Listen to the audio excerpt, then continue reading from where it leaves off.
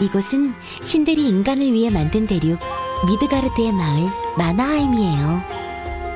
망루에 올라가면 미드가르드가 한눈에 들어올 거예요. 오딘의 위대한 손길이 느껴지는 세계수 위그드라실과 풍요로운 초원 맑은 하늘을 바라보니 답답했던 마음이 뻥 뚫리는 것 같아요. 알 수 없는 룸 문자와 그림이 새겨진 바위들. 영험한 기운이 깃든 마법지는 뭘 전하려는 걸까요? 스바딜 파리를 타고 드넓은 초원을 내달리니 저 너머로 거대한 세계수 위그드라실의 모습이 보이네요. 오딘이 세계 창조한 후 심은 위그드라실을 통하면 다른 종족이 사는 대륙으로 갈 수 있어요.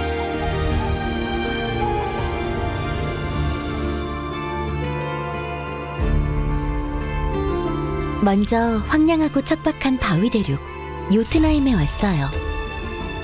요트나임에는 인간의 키보다 네다섯 배는 큰 거인들이 살고 있는데 이들은 오딘을 비롯한 애쉬르 신들에 대한 복수를 꿈꾸며 살아가고 있다고 해요. 니다벨리르에는 난쟁이와는 어울리지 않는 거대한 용광로가 있어요. 용광로 주변을 제외하고는 꽁꽁 얼어붙은 차갑고도 냉혹한 대륙이에요. 어디를 둘러봐도 온통 하얀 눈 세상이네요. 위그드라실의 축복을 받아 무한한 생명력이 넘쳐나는 숲의 대륙 알브하임은 알부들의 대륙이에요. 알부들은 다른 종족과의 관계를 철저히 차단한 채 살고 있어서 알려진 게 별로 없는 미지의 종족이죠.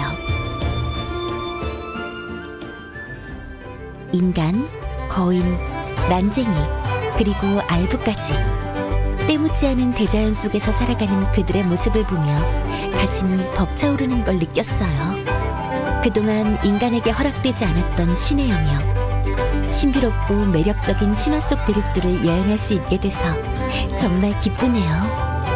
아직 가보지 못한 수많은 북유럽 신화 속 대륙을 모두 만나보는 그날까지 오늘의 추억을 기억하며 다음의 여정을 기약할게요. 안녕.